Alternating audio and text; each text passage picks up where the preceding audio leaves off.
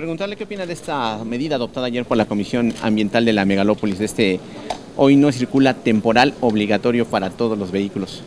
Bueno, pues esto es eh, una respuesta a un problema que se está este, viviendo.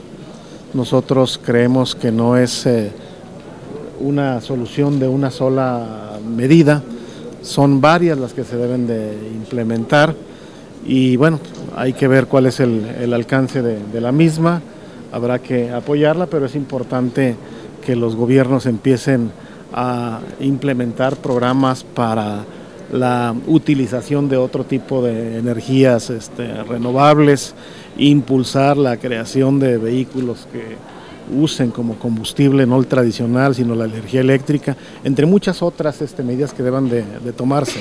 Hoy se han logrado este acuerdo, habrá que ver los eh, resultados, pero tienen que pensar en una solución integral. ¿Una medida así se puede aplicar de manera general?